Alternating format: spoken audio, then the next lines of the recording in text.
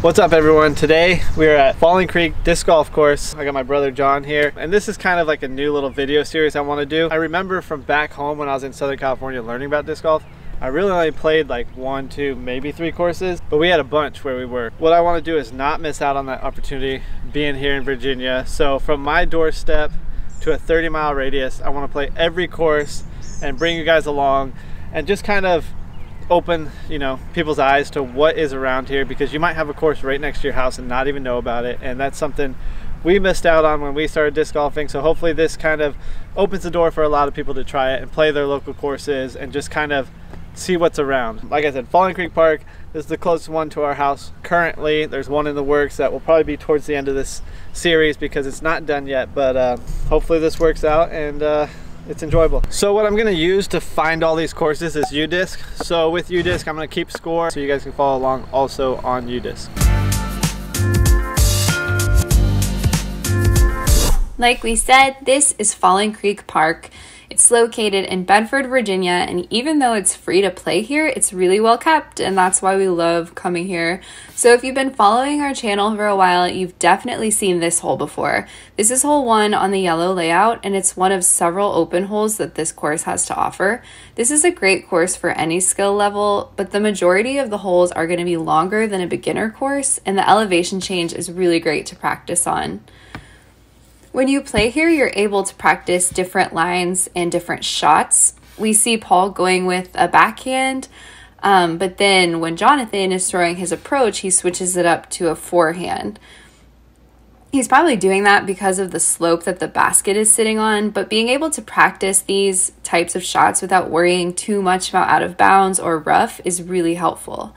And being able to practice on fairways, whether you're a lefty or a righty, is really great too. And this is a good example of that.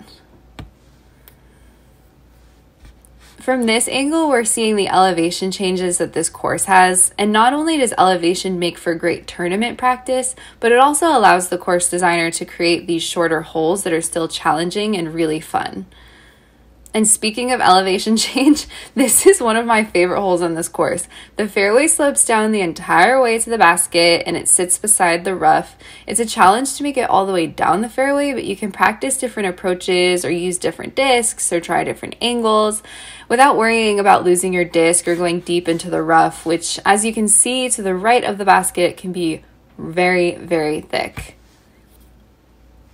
This hole is just another example of the different lines we can practice when we come here. Paul sees the fairway and thinks, I'll just go over the top. And John goes straight up the middle, right up the fairway to get to the basket that's sitting under some guardian trees on the left. Again, the elevation turns a straightforward hole into a challenge, even on the putting green. I really love that John was able to be in the video as a lefty because it really helps show off the different lines we can take when we play these holes.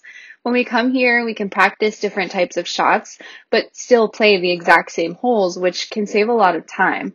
John did keep it a little too tight, and so the trees shortened his drive, but now he can practice his upshots.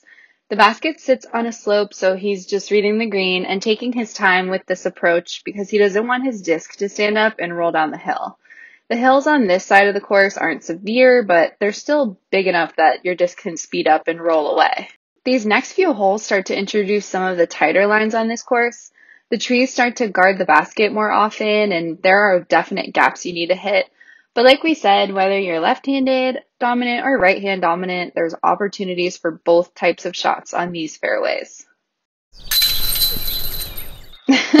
there are three fairly difficult par fours toward the end of this course. Being able to practice a mixture of both par threes and fours on well maintained fairways for free is one of the reasons we love it here, but having that mixture is actually pretty unique to this area. This 20 hole course finishes with a wide open par 3 at only 256 feet uphill. This is a fun birdieable hole to close out your round with. This was a temporary hole for a while, but as of 2020, it's officially part of this course. We just finished our round at Falling Creek Park. It's a really fun course. Uh, I'm really a big fan of the front nine, uh, just the openness and the, the variety of shots there. All the courses I've played here so far, I haven't played many, that's why you know I'm doing this series is so I can go out and explore them all, but of the ones I've played, this is probably the one I come to the most often, mainly because it's so open. I like to come out here and practice uh, practice a lot of these open shots, work on my forehand, backhand, putters, mids, all that stuff. Uh, you got any thoughts on the course? Uh, I like that it's it's half of it's open and half of it is wooded, so it really you get a little bit of both, which is nice. You get to practice all your shots that you'd play in a regular tournament round. I, I actually shot pretty well. I shot 14 down through the 20 holes. Had a little uh, lame stretch through there. Do you want to know what you shot? yeah, might as well say it. He shot four down. He had two bogeys in there, but uh, no. not awful for for how I thought I was playing. Yeah. So, um, thank you for for watching. Be sure to like, subscribe, share. You know what to do. Yeah, you know, push that little bell button or whatever it is. But uh, yeah, we look forward to doing another one, and we'll see you next time.